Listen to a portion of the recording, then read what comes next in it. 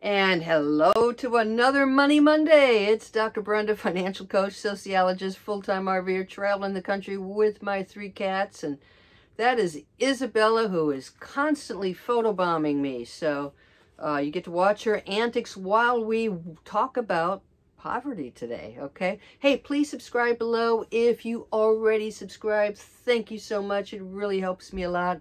So yeah, I am a financial coach and I am a financial coach for women. I teach about financial freedom, but that doesn't mean that it's been easy for me to reach my own personal path to financial freedom, to financial independence. In fact, it has been a very difficult road.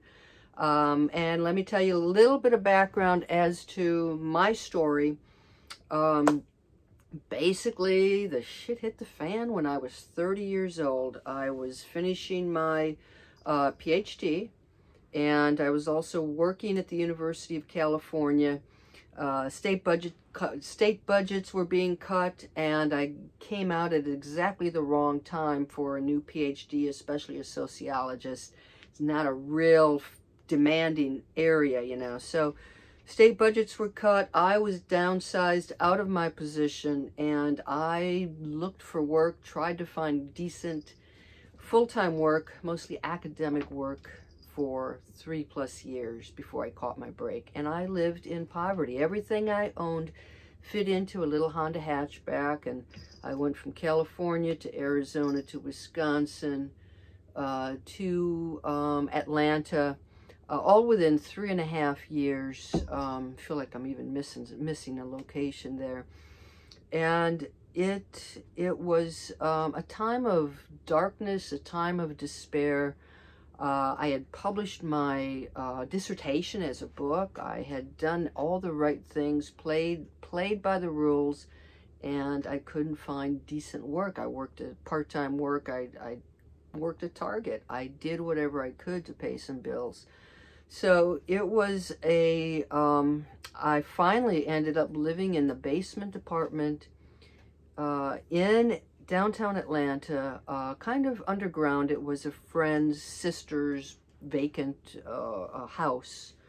And uh, I, you know, was infested with cockroaches. It was just, it was, I, I didn't have an address. I was, for all practical purposes, uh, homeless.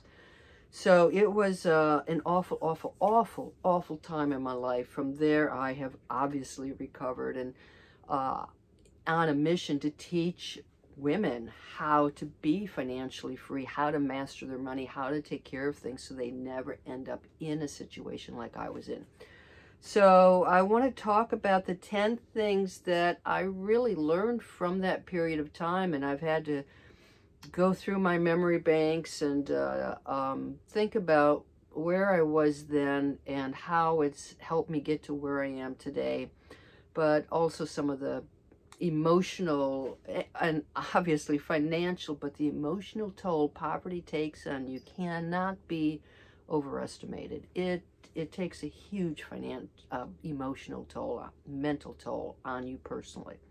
Okay, so 10 things I learned. Number one, number one, survival is sufficient. You know, we're, we're in, in a place here in this country where, you know, thrive and do really well and, and have these fantastic dreams. And I talk about dreaming big, but when you are living, when you are experiencing difficult, dark days, all you can do is survive. You just got to make it through another day. And sometimes that's enough it's okay to be in a place where you don't have the dreams and where you cannot pick yourself up and be energetic and be motivated. Survival is sufficient. It's number one. Second thing is craft a place in your mind where things are okay. A place in your mind. So what I did is I started to um, sketch out a, a series of novels, and I had this character. I still remember her name. You know, here I am, gosh, 25 years later, and I still remember this kick-ass character, this gutsy woman named Kate Winston, and I created this whole series of uh, uh, mystery novels around this character. And this character was kick-ass, you know, uh, had a great career, was doing terrific things, was somebody to be admired, and she was me. She was who I wanted to be. And I really needed somebody like that. It took me away from the cockroaches. It took me away uh, from the depression because I could sit and look out the window and write, write by hand, write on the computer. I could write about this character and put my mind in a different place. So that was important to me to craft a place in my mind where things are okay. Third thing, as difficult as it is, you got to believe that your big break is right around the corner. So every day I'd wake up and I remember just like, especially on the weekend, Saturday night, the newspaper would come out. And this was way back when you didn't have you didn't have the internet postings you know you went you still had the old newspaper to find your jobs and i still remember like okay maybe this is the maybe this is the weekend maybe this is the weekend where that job ad appears that, that just fits everything i want to do and i'm going to get that break.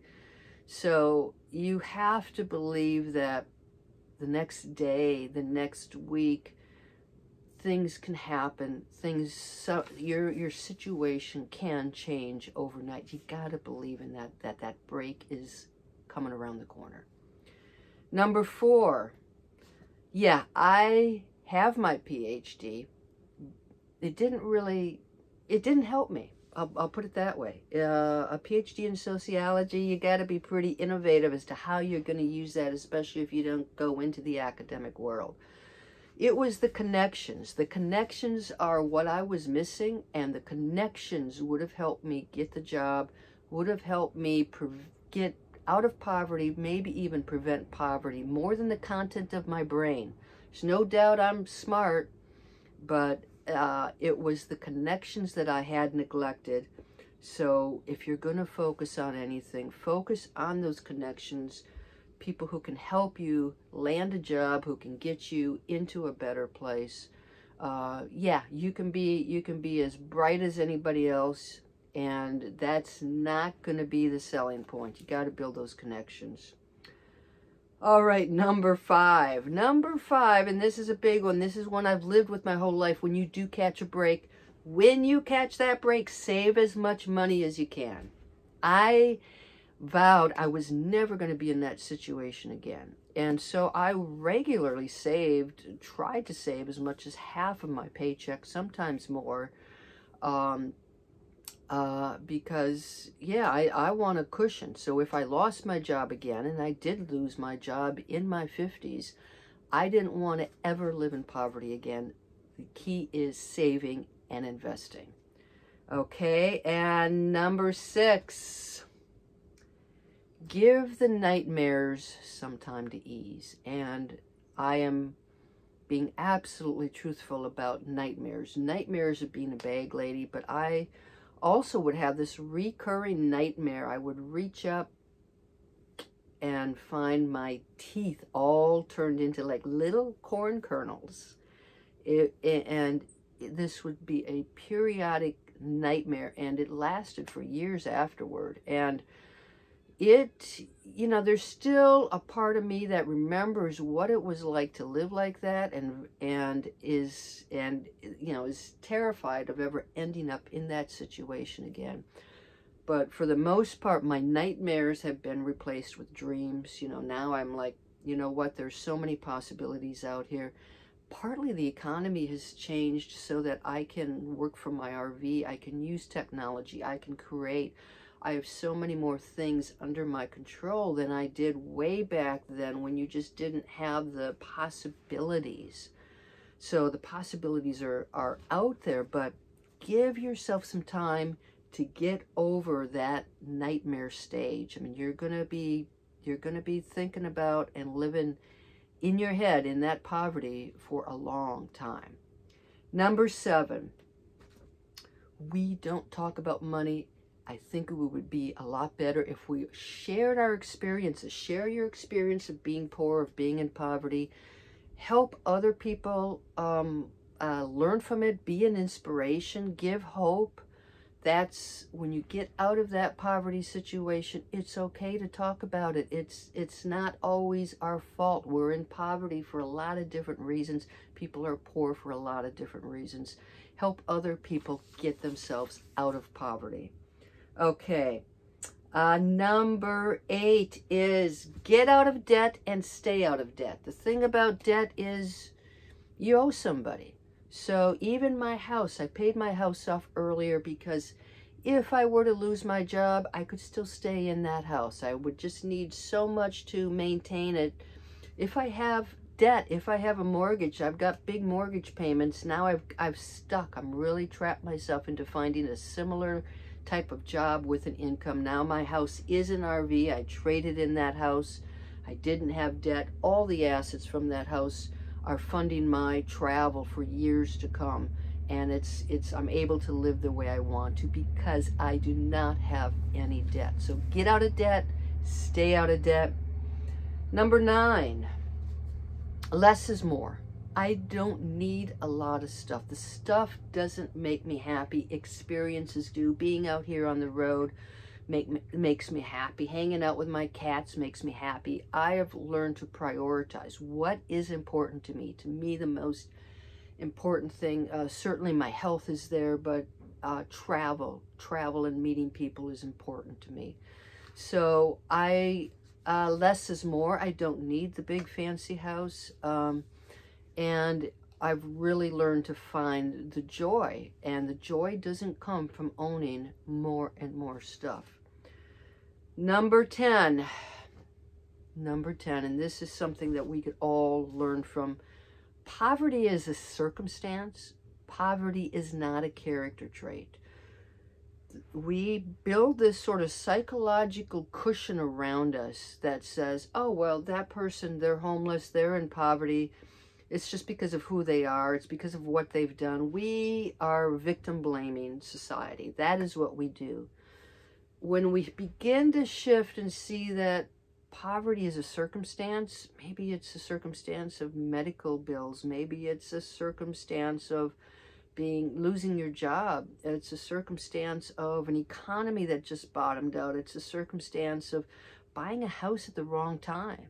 Um, very, uh, you know, there's a lot of poverty that is just due to circumstances, not because there's some human flaw in you. So poverty is a circumstance. It is not reflect, a care. it is not part of your character. Now, I'm the same person as I was back then, but I'm a million dollars richer, okay? Same person, same weaknesses, same strengths, same talents. But it was circumstance that, that led me to poverty it was circumstance, time, skills, money management that got me out of it. Okay, so those are my 10 takeaways from poverty. I'll go through them one more time. Number one, survival is sufficient. Number two, craft a place in your mind where things are okay. Number three, believe that your big break is right around the corner. Number four, Connections are going to help you more than the content of your brain. Number five, when you get that break, save as much as you can. Save and invest. Number six, give the nightmares some time to ease. Seven, share your experiences and help others who are looking for hope and inspiration. Eight, get out of debt and stay out of debt. Nine, Less is more, priorities matter. And number 10, poverty is a circumstance, not a character trait. Okay, I, I, hope you got some benefit out of that. I invite you to check out my website, drbrendamoneycoach.com, and especially my Gutsy Women Finances community because we're about creating a community, sharing and building, giving you the tools so that you can reach financial freedom to live the life that you want. All right, I'm Dr. Brenda. Until the next Money Monday, I'm out of here. You guys take care. Bye-bye.